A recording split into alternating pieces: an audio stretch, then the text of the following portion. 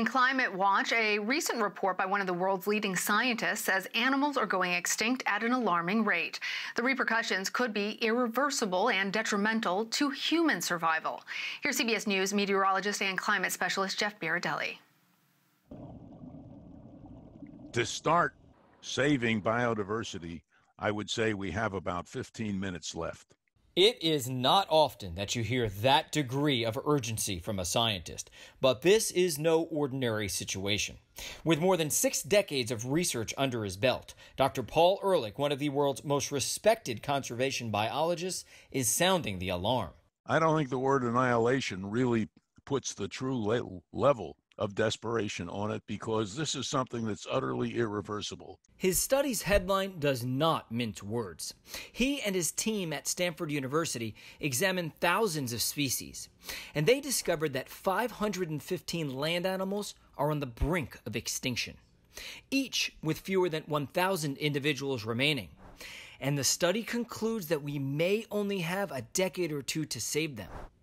Ehrlich's latest work is a follow up to his now famous 2015 paper, declaring that the world has entered its sixth mass extinction, meaning current rates of extinction are up to 100 times faster than they otherwise should be. And Ehrlich says in just the past 40 years, more than one third of our planet's important biodiversity has disappeared. He stresses a healthy ecosystem is the foundation for human success and survival. In other words, we are part of biodiversity. We're utterly dependent on biodiversity. And if we continue to annihilate biodiversity, we're going to annihilate ourselves. Pointing to various climate tipping points like melting polar ice caps and the eradication of the Amazon rainforest, one of Australia's top climate scientists, Dr. Will Steffen, says, quote, We are already deep into the trajectory towards collapse. He's not alone. This view is shared by the world's most famous conservationist, Dr. Jane Goodall. We need the natural world. We depend on it. We can't go on destroying it. We've got to somehow understand that, that we're not separated from it. We're all intertwined. Harm nature, harm ourselves. As a clear example, Goodall singles out the current global pandemic. She says our rampant exploitation of Earth's resources, like slashing and burning forests, hunting and trafficking wild animals, and industrial farming, is bringing people and animals into closer contact with one another, a dangerous recipe for disease. All of this is creating environments which is perfect for a virus or a bacteria to cross that species barrier. But Goodall says the pandemic is just the latest example of how intertwined we are with the natural world.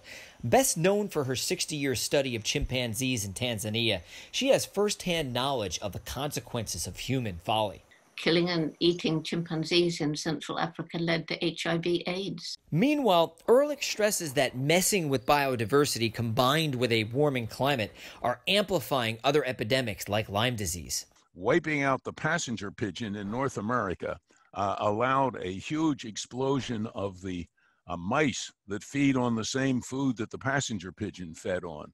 Those mice turn out to be the reservoir for Lyme disease. Each year now, America suffers roughly 300,000 cases of that nasty disease because we wiped out the passenger pigeon. Now, besides protection from disease, our ecosystem provides so many of the vital services we need to survive, like the food we eat, pollination of crops, and regulation of the climate. Goodall fears if we continue on with business as usual, our days are numbered. The ecosystems of the world will just give up and collapse.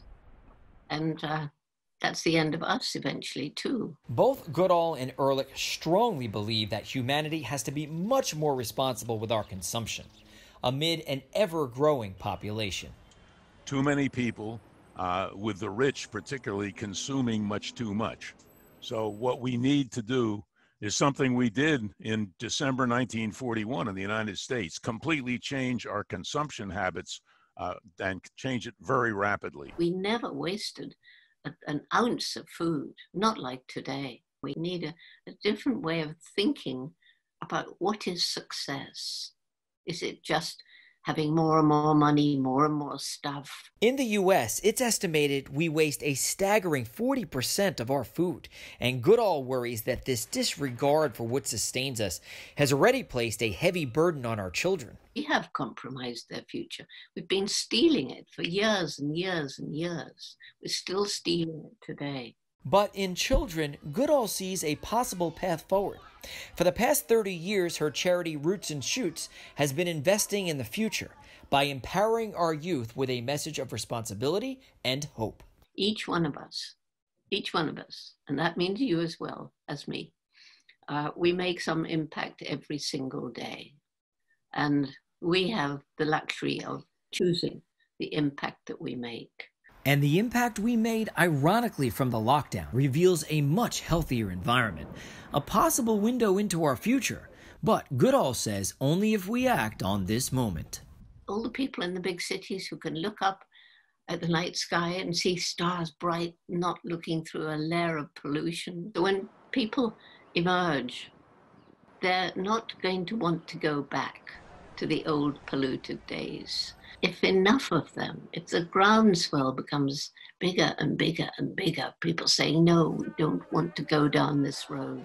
We want to find a different green economy. We don't want to always put economic development ahead of protecting the environment. We care about the future.